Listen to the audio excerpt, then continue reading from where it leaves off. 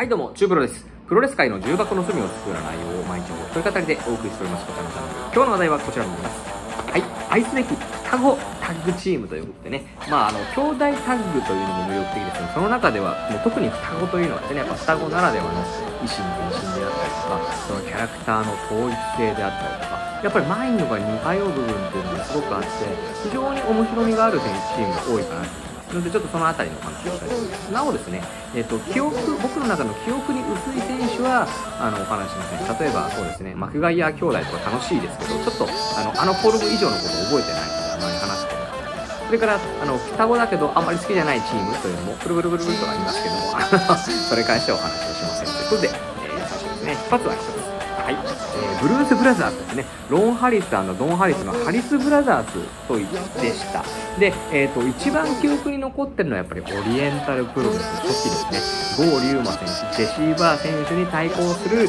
えー巨大外国人選手として、このブルース・ブラザーズですね、この2人、あのー本当に強かったですね、髪の毛が挑発でを振り乱して戦う、なんかブロディが2人いるみたいな、そういう雰囲気の、あのー試合で大いにこのオリプロの初期を盛り上げてくれた。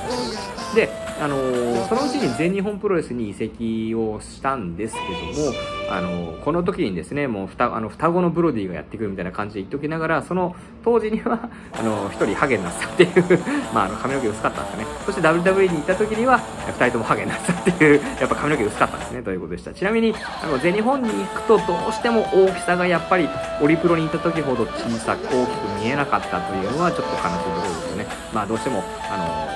ビッグガイの多い全日本プロレスでは、やっぱり背の高さというのもアドバンテージにはなかなかならないという感じがありました。まあ嫌いなチームではなかったです。そして次に、はい。さあ、ヘッドハンターズ AB ですね。もう最高ですね。まあ、あのー黒人選手、スキンヘッド、デブ、巨漢、そして空を飛ぶという、このチームですね。あのーまあ、試合の運び方に関しては正直そんなに上手ではなかったかなと。もう本当にその A のムーンサルト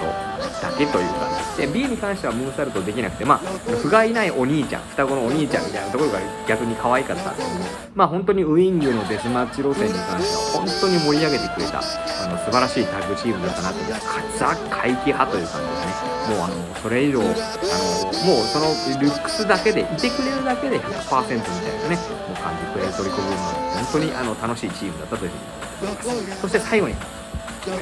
バラモン兄弟ですね。日本のタッグチームの双子といえばやっぱりバラモン兄弟がを置いて他にはないでしょう。他にもね、もちろんいらっしゃいますけども、やっぱりここだというふうに思います。あの、まずあの髪型を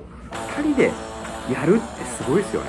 1人だったらわかりますよ。こう頭反って落ち武者ヘアっていうのを、しかももう何年にもわたってですからね。1人だけやっているっていうんなら覚悟を持ってやるわかるけど、2人でやる。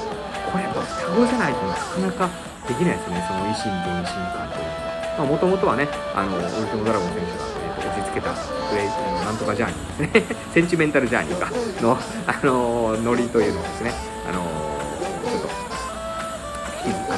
あれ、黒歴史として今はなってますけども、やっぱりそれを良しとせずに自分たちのスタイルをあの形で繰り広げ、今や業界の中でもね、やっぱりその、異名を取り驚かせるバラモン兄弟。まあ正直個人的にリング、バラモン兄弟試合中のリングサイドにはあまり行きたくはないですけども、すごいと思います。あのーキャラクターとしてもですね、あのーそうなんですけども、レスラーとしての姿勢という部分でもですね、ちょっとこれは余談になりますけど、僕が、あの、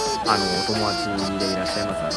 あの、あのバー、バーですね、ゴールデン街にあるバーのですね、あのまあ、プロレスと、あの、ロックが好きなあの選手がいるんですけども、その方がお店にですね、バラモン兄弟が来た時にですね、もうほん、実はあんまりお酒強くないらしいんですよ。お酒強くないけど、プロレスラーは飲めなきゃダメなんだっていう風な感じで、飲めない酒をガンガン飲んでたって、もうすっごい無理してるんだけど、めちゃくちゃ意地張ってるのが分かって、あいつらはプロレスラーだという風に、すごくね、感心して言っていたのを覚えています。もうそのマインドがあるからこそ、今あれだけプロレス界でね、感じとしてのし上がることができたんじゃないかなという風に思います。というわけでですね、えっ、と、愛すべき双子レスラーについてのお話をさせていただきましたが、皆さんにとってのえ愛すべき双子レスラー、どんなレスラーいらっしゃいますでしょうかコメント欄に書いてもらえると嬉しいです。というわけで今日はですね、愛すべき双子レスラーというお話をさせていただきました。今日の動画が面白かったという方は、チャンネル登録、高評価よろしくお願いします。それでは今日はこれで終わります。シュープロでした。